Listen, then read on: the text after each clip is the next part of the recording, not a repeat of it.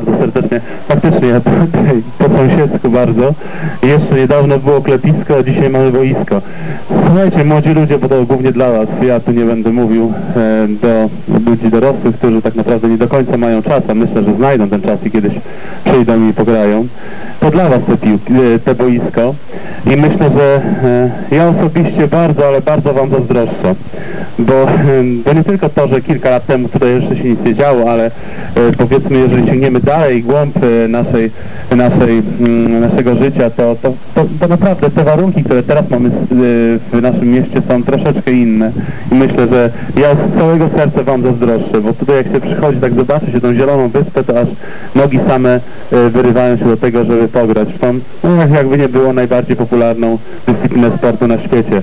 E, Ja mam swoją dyscyplinę, wy macie swoją, ale musimy się trzymać razem. Bardzo Wam serdecznie gratuluję. Gratuluję włodarzom, że mm, dopięli swego, tym, którzy e, walczyli o to, o takie boiska.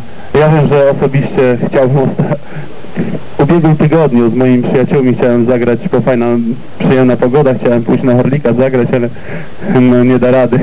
Wpisz się pan wcześniej, bo wszystko zajęte. I o to chodzi, tego życzę, żeby te boiska o 24 godziny na dobę tętniło życiem. Gratuluję.